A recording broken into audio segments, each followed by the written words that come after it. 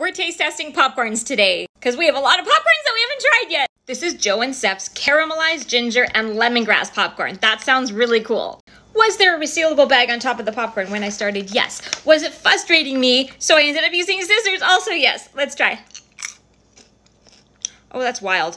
I'm not sure if I like it though. It's sweet from the caramel, but then you have lemongrass and you're like, pow. it tastes like sweet meat savory, like a yummy Thai dish with caramel popcorn in it.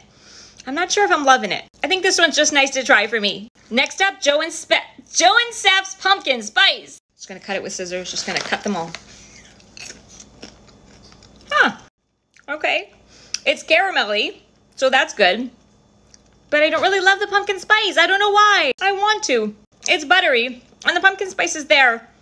But I'm not loving this. Like, it's not just that it's like a weak pumpkin spice flavor. That's okay. It's like, it's an odd pumpkin spice flavor. It's like they put mace or something in there. Like mace, this baking spice. Next up, Joe and Seph's caramel, pepper, and chili. On the back of the package, it says, if you don't love this popcorn, I'll eat my hats. Joe and Seph, you got a couple of hats to eat so far. Let's try this one. Okay, caramelly with black pepper. What a wild combination. I'm not loving any of these. I'm sorry. Oh, but that spice hits your throat. Whoa. Okay, that's definitely different. It's interesting. I'll say that. And I appreciate trying it.